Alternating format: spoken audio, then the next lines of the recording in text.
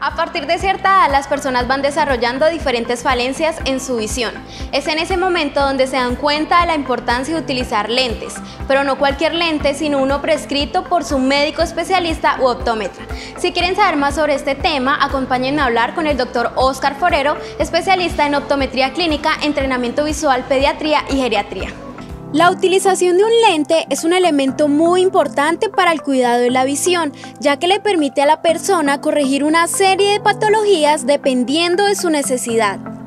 Los lentes progresivos son dispositivos de bajo riesgo, clase 1, eh, que se utilizan eh, para corregir problemas de salud visual y refractiva.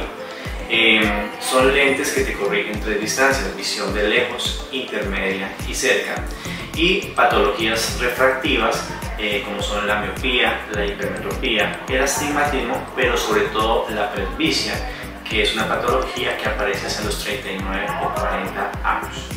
Los lentes bifocales, a diferencia de los lentes progresivos, son dispositivos médicos también de bajo riesgo, clase 1, que corrigen solo dos distancias, visión de lejos y visión cercana.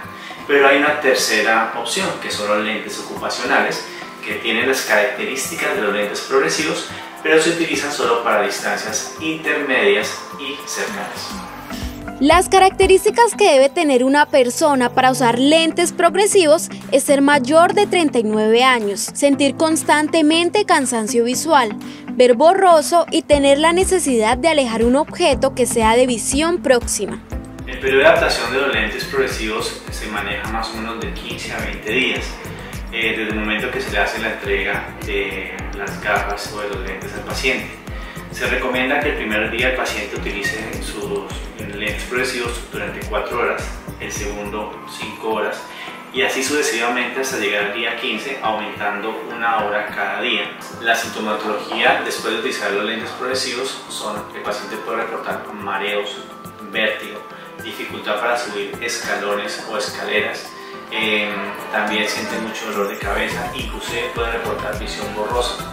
Esto es mientras que se logra una perfecta coordinación entre ojo, cerebro y cuerpo para poder eh, utilizar poder eh, manejar ese tipo de lentes progresivos.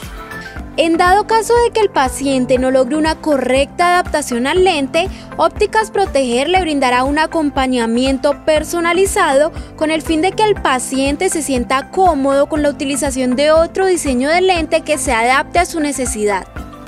Las recomendaciones del uso de lente progresivo simplemente es seguir las indicaciones del profesional. ¿sí?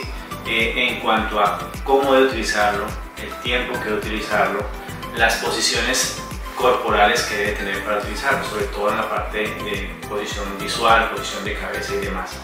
Eh, si el paciente sigue las recomendaciones del especialista de la salud visual, eh, va a hacer una correcta adaptación y se va a sentir muy seguro con el uso de sus lentes.